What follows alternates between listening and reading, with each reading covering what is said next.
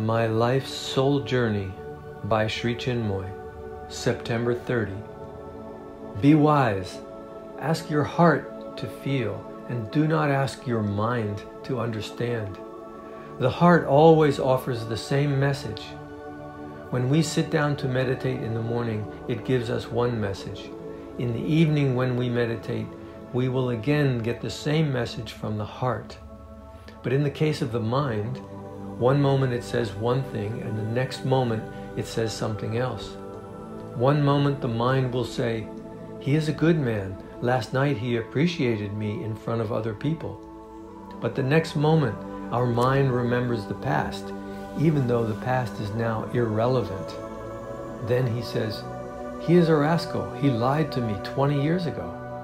So let us always listen to the dictates of the heart. Think of your heart all the time. Sooner or later, your mind will not mind following your heart.